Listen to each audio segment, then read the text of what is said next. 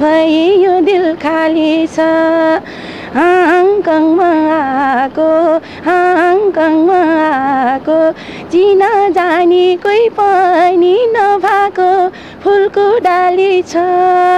माया जलाउने भए यो दिल खाली छ माया जलाउने भए यो दिल खाली छ धन्यवाद।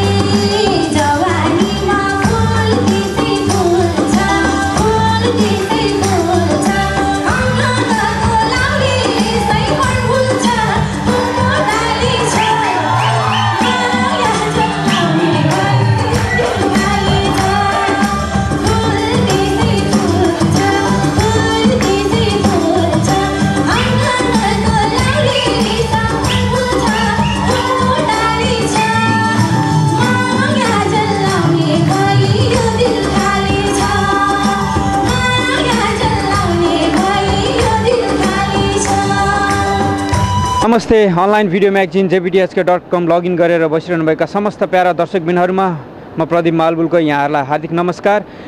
सुभाष चित्र माइलाको प्रस्तुति अनि जोडन क्लबको आयोजनामा जोडन नाइट तथा दोहोरी साँझको लागि नेपालदेखि हङकङ आउनुभएका केही कलाकारहरूसँग हामीले कुराकानी गर्ने जमर्को गरेका छौँ र अहिले हामीसँग हुनुहुन्छ आ, लोकदोहोरी गायिका कृष्णा गुरुङ। हामी उहाँसँग छोटो कुराकानी गर्न चाहन्छौँ। सर्वप्रथम त यहाँलाई हाम्रो यस online video magazine JPTSK dot com साथै हङकङमा हार्दिक स्वागत गर्न चाहन्छु। धन्यवाद। हजुर यहाँ हङकङ आज हुन गइरहेको कार्यक्रमको लागि आउनु भएको छ। यो तपाईँको हङकङ पहिलो भ्रमण हो या यहाँ पहिला पनि आउनु भएको थियो? सर्वप्रथम त सबैजनालाई नमस्ते म हङकङ चाहिँ यो पहिलोचोटि हो हजुर पहिलोचोटि हङकङ आउनु भएको छ यहाँले कस्तो फिल गरिरहनु भएको छ पहिलोचोटि हङकङ आइरहनु भएको छ एकदमै एक्साइटिङ रमाइलो भइरहेछ अँ, यहाँले हङकङ बाहेक अरू कुनै विदेशमा कन्सर्टहरू पहिला गरिसक्नु भएको थियो? न यो मेरो फर्स्ट टाइम हो। पहिला एकदमै अरू ठाउँमा त कोसिस त भएको हो तर चाहिँ सक्सेस हुन सकेन। तर यो चाहिँ मेरो लागि एकदमै ठुलो अपर्च्युनिटी हो। हङकङ नै मेरो फर्स्ट पहिला चाहिँ। तर जे होस् यहाँले नेपालमा थुप्रै स्टेज प्रोग्रामहरू त गरिसक्नु भएको छ त अधिकांश लगभग पूर्व पूर्व मेची पश्चिम महाकालीसम्म चाहिँ मैले स्टेज सोहरू गरिसकेको छु। तर विदेश भ्रमणको लागि चाहिँ मेरो फर्स्ट। हङकङ नै हो। हजुर। जस्तो अब यहाँ लोक गीत क्षेत्रमा प्रवेश गर्नुभएको छ होइन? यहाँलाई चाहिँ कुन गीतले चाहिँ कृष्ण गुरुङ भनेर चिनायो त लोकगीतमा आउँदा वास्तवमा मलाई कृष्ण गुरुङ भनेर चिनाउने चाहिँ मलाई कुनै मैले एल्बम सुरु गर्नुभन्दा नि पहिला मेरो स्टेज सो गर्ने मेरो क्रियाकलापहरू मेरो प्रतिक्रियाहरू मेरो एक्टिभिटिजहरू सबैले मन पराउँथ्यो होइन। खासै चाहिँ एकदमै सङ्घर्ष गरेर चाहिँ हिँड्नु परेन। सबैसँग चिन्नुको लागि चाहिँ म धेरै सङ्घर्ष त गर्नु परेन। तर यसमा चाहिँ खुसी पनि मान्नुपर्छ। मलाई मेरो एल्बमले चिन्नुभन्दा पनि पहिला मैले स्टेज सोहरूमा गर्दाखेरि अरूकै गीतहरू गाएर पनि मैले मलाई धेरैले चिन्न मौका पायो। र यसै सन्दर्भमा पनि मैले एउटा एल्बम पनि मैले बजारमा ल्याएँ। त्यसले पनि मलाई थप यसमा पनि म सबैसँग चिन्ने मैले मौका पाएँ। त्यसमा चाहिँ मैले मासी फेवताल भन्ने मैले एल्बम यहाँ सब सबै नेपाली जगतमा मैले यो एल्बम ल्याएँ। यसले पनि मलाई थप भयो। जस्तो अब यहाँ आज पहिलोचोटि हङकङ आउनु भएको छ र यहाँले पहिलोचोटि हङकङमा चाहिँ एउटा स्टेज प्रोग्राम गर्दै हुनुहुन्छ। यहाँले हङकङमा रहनुभएको दर्शकबिनहरूको लागि कस्तो खालको प्रस्तुति लिएर आउनु भएको छ मेन मेन गरी त अब लोकगीत भनेको भनेको चाहिँ एउटा गाउँबाट गाउँमा गाउने एउटा लोक पाखा पखेराले सिर्जना गर्ने गीतहरू लोकगीत हुन्छ। त्यो गीत भनेको चाहिँ आफ्नै भाका मौलिकता हुन्छ। नेपाली भनेको चाहिँ एउटा संस्कृतिको धनी हो कल्चरको होइन। रीतिरिवाज आफ्नो परम्पराहरूलाई चाहिँ हामीले कहिले पनि बिर्सन हुँदैन। त्यही अनुसार लोकगीत भनेको चाहिँ एउटा आफ्नै के भन्छ आफ्नै आत्मसिर्जना हुने कुराहरू हो होइन? दोहोरी भनेको चाहिँ कुनै व्यक्तिसँग दोहोरो गरिन्छ भने भला कसरी गरिन्छ भने लोकगीत भनेको चाहिँ आफ्नै मर्म दुःख मर्महरू पोख्ने एउटा वेदना पोख्ने एउटा माध्यम हो। यसलाई चाहिँ मैले एउटा सुरुमा चाहिँ मैले एउटा लोकगीत लोकगीत सङ्ग्रह निकाल्न लागिरहेको छु बजारमा छिट्टै। त्यसमा चाहिँ दोहोरी गीत नभएर यस्तै एकल गीतले मात्रै एउटा एल्बम बनाउने तयारमा छु। त्यसको एउटा थोरै अंश सुनाउन चाहन्छु। त्यसै आँसु बगेर गइरा छ बगेर गइरा छ थाहा छैन मलाई के भइरहेछ यस्तो भएमा किन मरि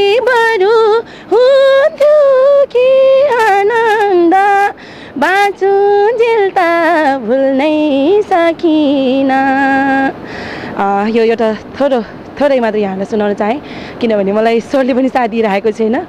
अँ, यति मात्रै। थ्याङ्क यू हजुर लोकगीत धेरै किसिमको हुन्छ। कोही लोकगीत चाहिँ सुनेर आनन्द लिने खालको हुन्छ। कोही नाचेर छमछम नाचेर सुरको तालको उसमा रौनक दिएर नाच्ने खालको हुन्छ। धेरै प्रकारको हुन्छ। तर यसमा चाहिँ मैले धेरै किसिमको कुनै सुनेर आनन्द लिने र कोही नाचेर आनन्द लिने खालको चाहिँ गीत आज गाउँदैछु।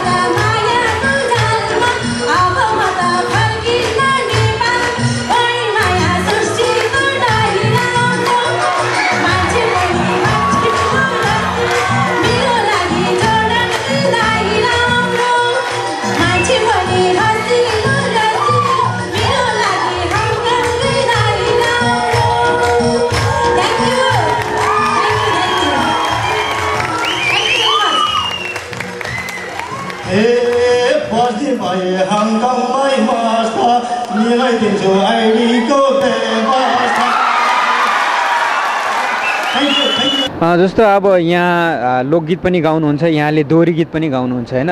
अब हामी दर्शकबिनहरूले यहाँलाई कुन गायिका भन्ने यहाँलाई लोक गायिका भन्ने या यहाँलाई दोहोरी गायिका भन्ने? मलाई चाहिँ लोकदोरी गायिका भन्दा चाहिँ फरक पर्दैन किनभने म लोकदोरी नै गाउँछु। नेपालमा पनि म यही क्षेत्रलाई अँगालेर आफ्नो जीवनलाई अगाडि बढाउँदैछु एउटा पेसागत रूपमा पनि म दोरीमै छु। जस्तो अब यहाँले नेपाली लोक सङ्गीत यहाँ साङ्गीतिक नेपाली साङ्गीतिक क्षेत्रमा प्रवेश गर्नुभएको छ होइन? यहाँले जस्तो महिला गायिकाहरू देख्नु भएको छ यहाँले आधुनिक गायिकालाई पनि देख्नु भएको छ यहाँले पप गायिकालाई पनि देख्नु भएको छ त्यस्तै गरिकन यहाँ आफै लोक गायिका हुनुहुन्छ होइन? तपाईँले नेपाली साङ्गीतिक क्षेत्रमा महिलाहरू गायिका महिलाहरूको स्थान तपाईँले कुन स्थानमा पाउनुहुन्छ? अहिलेको तुलनामा चाहिँ पहिलाको जस्तो स्थिति छैन किनभने पहिला गाउनेहरूलाई अझै त्यसमा चाहिँ केटीहरूलाई एकदमै नराम्रो दृष्टिले हेर्ने विचार थियो। एउटा चाहिँ ए फलाना यसरी गाउने यसरी नराम्रो कुरा काट्ने प्रवृत्तिहरू थियो। तर चाहिँ अहिले चाहिँ पछिल्लो समय चाहिँ धेरै माथि उकाइसकेको छ किनभने गाउने कलालाई चिनिसकेको छ। पहिलाको जस्तो अहिले छैन त त्यही भएर अहिले चाहिँ गाउनेहरूलाई चाहिँ एकदमै अग्रस्थानमा राखेको मैले पाउँछु। तपाईँ आफै एउटा गायिका हुनुहुन्छ होइन गीत गाएर तपाईँ कतिको सन्तुष्ट हुनुहुन्छ? नेपा स्पेसली नेपाली दर्शकहरूको माझमा आफू गे एउटा गायिकाको रूपमा स्थापित भएर यहाँ आफू आफू पर्सनल्ली कतिको सन्तुष्ट हुनुहुन्छ? अ, सन्तुष्ट छु हुनैपर्छ किनभने मान्छेलाई कहिले पनि आफ्नो चाहनाहरू पुरा हुँदैन आवश्यकता कहिले पनि पुरा हुँदैन तर मेन कुरा चाहिँ आफू नै आत्मसन्तुष्टि भयो भने सबै चिज सन्तुष्टि हुन्छ र म यो क्षेत्रबाट एकदमै आत्मसन्तुष्टि छु। भन्नाले जस्तो यहाँको जुन गाय ए, जुन यहाँले गीत गाएर कमाएको जुन रकम छ त्यसले तपाईँले आफ्नो पारिवारिक जीवन चलाउनको लागि तपाईँ सक्षम हुनुहुन्छ या हुनुहुन्न? मान्छेले भविष्य कसैले पनि देखिरहेको हुँदैन। अब वर्तमान चलिराख्यो भने चाहिँ भविष्य आफै बन्छ भन्ने एउटा उखान पनि छ। तर अहिलेको यो सन्दर्भमा चाहिँ मलाई एकदमै ठिक छ। मलाई आफूले खाउने खाने लाउने पढ्ने दिन हरेक कुराहरू कोठा भाडा दिने सबै दिन लिएर यसैले मलाई पुगिरहेछ। अब भोलिको दिनमा त के कस्तो हुन्छ त्यो भोलिको दिनमै थाहा हुन्छ। तर यतिमै चाहिँ मलाई एकदम आर्थिक रूपमा पनि एकदम आत्मसन्तुष्टि छ। जस्तो अब तपाईँ हङकङ आउनु भएको छ होइन पहिलोचोटि आउनु भएको छ र फेरि पनि फेरि फेरि यहाँले आफ्नो राम्रो छाप छोडेर जानुभयो भने फेरि पनि हङकङ आउनुहुन्छ होला होइन? जति पनि अब हाम्रो यो वेबसाइटलाई हङकङ मात्रै नभइकन नेपालमा मात्रै नभइकन विश्वभर छरेर बस्नुभएका नेपाली दाजुभाइहरूले लगइन गर्नुभएको छ होला यतिखेर हेरिरहनु भएको छ होला। उहाँहरू हेरिरहनु हुने सबै दर्शकबिनहरूको लागि एज अ एउटा गायिकाको रूपमा कृष्ण गुरुङ के भन्न चाहनुहुन्छ? तपाईँहरू विदेशमा रहेर पनि एउटा नेपाली कल्चरलाई नेपाली संस्कृतिलाई बिर्सनु भएको छैन भन्ने कुरा तपाईँहरूको यो कार्यक्रमले पनि जनाउँदछ। किनभने प्रत्येक नेपाली कलाकारहरूको एउटा मेन चाहिँ उद्देश्य नै के हुन्छ भने नेपालमा मात्रै नाम चलेर त्यस्तो केही पनि हुँदैन। तर के हो भने यो मान्छे फलाना व्यक्ति कतिको विदेश गएको छ। आफ्नो प्रस्तुतिहरू लिएर कतिको बाहिर गएको छ। त्यसलाई पनि मान्यता दिन्छ। यसमा चाहिँ हाम्रो हाम्रो एउटा के भन्छ फेमसको रूपमा जति पनि उहाँ गायो भने ल नेपालमा नचिनेकै कलाकार भए पनि विदेशमा बढी चान्स पाउनेहरूलाई चाहिँ नेपालमा बढी राम्रो भइरहेको हुन्छ। यो भनेको तपाईँ यस्तो आम नेपाली विदेशमा रहनुभएका आम नेपालीहरूको देन हो यो भनेको चाहिँ। हामीले जस्ता कलाकारहरूलाई पनि यसमा आएर ठुलो मौका अपर्च्युनिटी दिनुभयो यो पनि खुसीको कुरा हो। र यसमा चाहिँ तपाईँहरू विदेशमा रहेर पनि नेपाली कल्चरहरूलाई भुल्नु भएको छैन र कहिले पनि नभुल्नुहोस् भन्ने पनि म आफ्नो कामना गर्न चाहन्छु अपेक्षा गर्न चाहन्छु। यहाँले सधैँ नेपाली संस्कृतिलाई माया गरी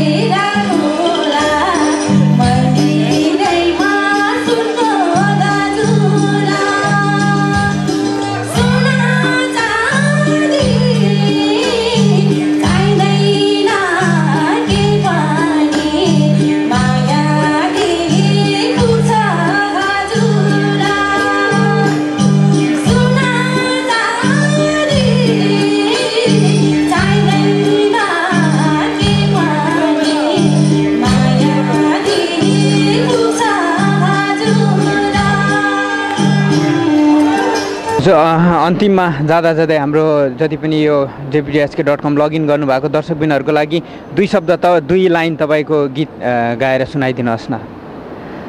फेरि पनि धन्यवाद दिन चाहन्छु। मैले अब बजारमा एउटा लोकदोरी गीत नभइकन एउटा लोकगीतको एउटा सङ्ग्रह ल्याउँदैछु। यसमा चाहिँ मैले एउटा आमा सम्बन्धी एउटा गीत गाउन एउटा गीत मैले राखेको छु समावेश गरेको छु। त्यसमा चाहिँ एउटा चेली भएर एउटा अर्को पढाइ घरमा जानुपर्ने कथालाई समेटिएको छ आमाप्रतिको। एउटा गीत एउटा टुक्का छोटो अंश सुनाउन चाहन्छु। जन्म दियो हुर्कायो बढायो आज तिमीले डोली डोलीमा चढायो। माया नमार आमा आँसु नझरा। हुर्कायो बढायो आज तिमीले डोलीमा चढायो माया नमार आमा आँसु नझरा माया नमार आमा आँसु नझरा हुन्छ यहाँले हाम्रो वेबसाइटको लागि छोटो समय दिनुभयो हङकङमा आएर।